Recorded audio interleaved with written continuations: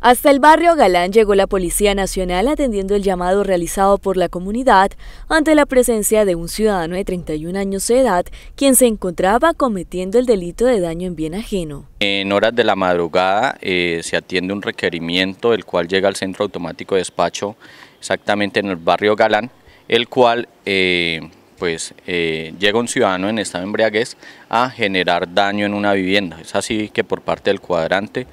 el grupo de investigación criminal, pues se hace todo el, tema del procedimiento de judicialización, se pone a disposición de la autoridad competente.